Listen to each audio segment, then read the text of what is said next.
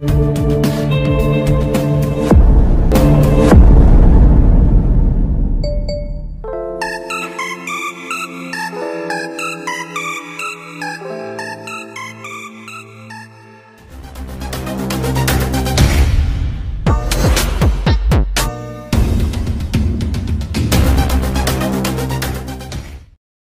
News Police report former beauty queen Jewel Mae Lobaton, binibining Pilipinas Universe 2008, was reportedly arrested in Nawag City last Monday.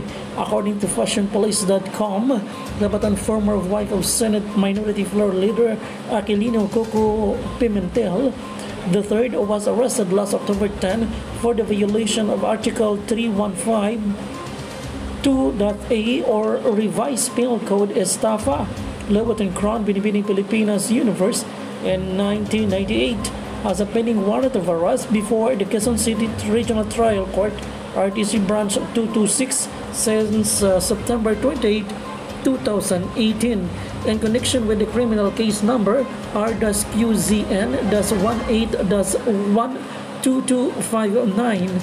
The arrest order was issued by Judge Manuel B. Santa Cruz Jr. The bail of the temporary release of Pimentel's estranged wife is fixed at 48,000.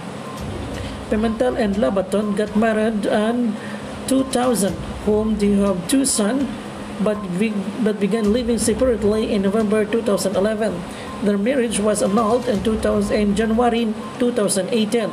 Lobaton also tried her luck in politics last year, being the first nominee in the party list Batang Pinoy, but his said group was among the, those party list organizations that were delisted by the poll body last December 2001, prior to the printing of the official ballots of 2022 election. That the news from this hour from the news center of GCM News. Good afternoon.